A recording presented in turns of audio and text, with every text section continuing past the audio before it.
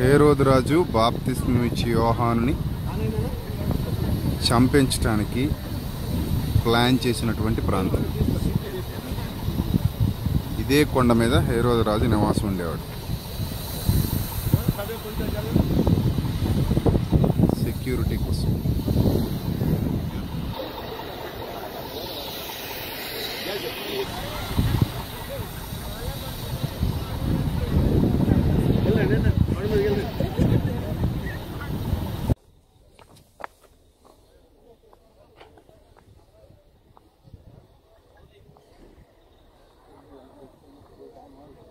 Glasses are.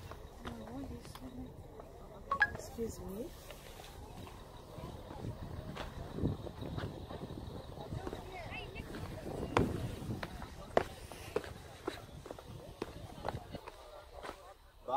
యోహాన్ గారు ఏ పర్వతం మీద అయితే చంపబడాలని నిర్ణయం జరిగిందో ఆ పర్వతం దగ్గరలో ఇప్పుడు మనం ఉన్నాం చూడండి ఒకప్పటి పురాతన కాలపు కట్టడాలు అది శిథిలం అయిపోయినటువంటి విధానం అంతా మనకు కనబడుతుంది ఇక్కడ.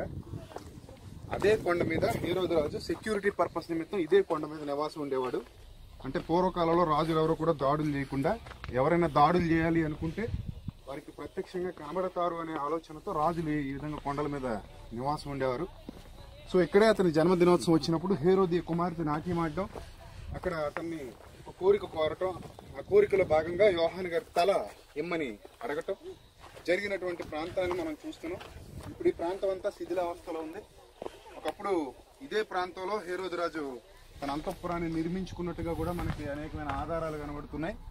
సో ఇదే ప్రాంతంలో బాప్తిస్మి చౌహాన్ గారి యొక్క తలను ఛేదించే నిర్ణయాన్ని కూడా తీసుకున్నారు. ఇదే పరిసర ప్రాంతాల్లో యేసుక్రీస్తు ప్రభు వారు ఎక్కువగా సంచారం చేసినట్టుగా ఈ పరిసర ప్రాంతాల్లోనే బాప్తిస్మి చౌహాన్ గారు కూడా సంచారం చేసినట్టుగా మనకు అర్థమవుతుంది. ఒక విషయాన్ని మనం గమనించాలి. ఇప్పుడే ఇదంతా ఎలా ఉంది అంటే రెండు వేల సంవత్సరాల క్రిందట ఎంత భయంకరంగా ఈ ప్రాంతం ఉండేదో మనకు అర్థమవుతుంది.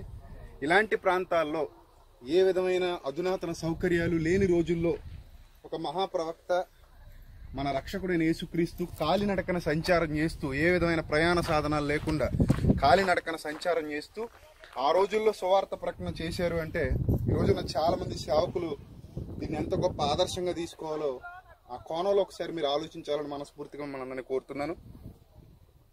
ఈ నేల మీద ప్రవక్తల రక్తం ఒలికించబడింది. ఇక్కడ నుంచి అన్యజనులకు కూడా సువార్త ప్రకటింపబడుతుంది అన్న దేవుని వాగ్దానాలు నెరవేరుతూ ఈ రోజున ప్రపంచాన్నంతటిని అలుముకున్నటువంటి దేవుని సువార్త మనకి స్పష్టంగా కనబడుతుంది. ఆ ప్రాంతాన్ని చూస్తుంటే ఒకనాడు రోషం కలిగి బతికినటువంటి యోహాను గుర్తొస్తున్నాడు. ఎవరికి తలదించకుండా ఎవరికి తల వంచకుండా దేవుని కోసం తన ప్రాణాలు త్యాగం చేయడానికి సిద్ధపడినటువంటి ఒక మహాప్రవక్త ఇదే పరిసర ప్రాంతాల్లో సంచారం చేశాడు. ఇప్పుడు ఆ ప్రాంతాలనే మనం చూస్తూ ఉన్నాం.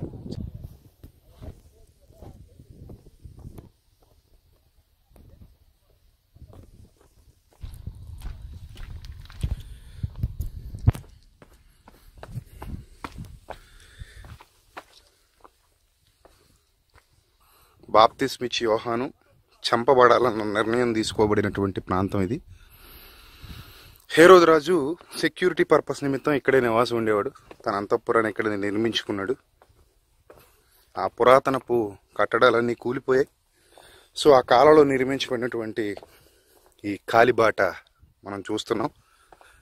ఎవరైనా సరే ఈ ప్రాంతానికి రావాలి అని అంటే రాజుగారికి కనబడతారు ఖచ్చితంగా.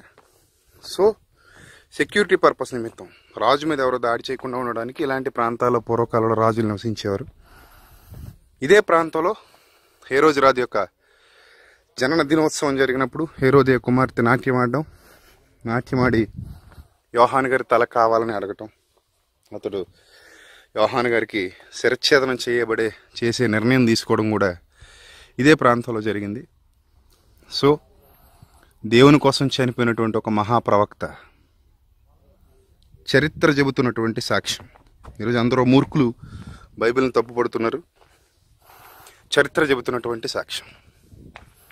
దేవుని కోసం బ్రతికినటువంటి ఒక మహాప్రవక్త అలాగే యేసుక్రీస్తు ప్రభు వారు సంచారం చేసినటువంటి ప్రాంతం చరిత్ర సాక్ష్యం ఇస్తుంది.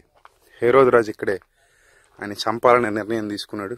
ఆ పూర్వకాలపు గుహలు కూడా మనం ఇక్కడ చూడగలుగుతున్నాం.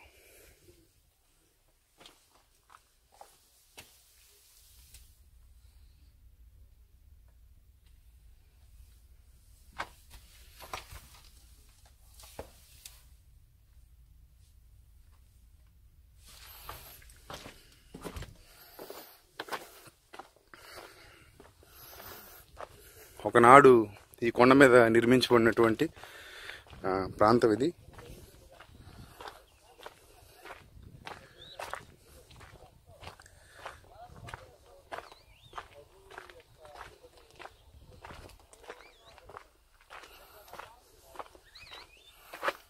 ఇప్పుడే ఈ రోడ్స్ అన్ని ఎలా ఉన్నాయి అని అంటే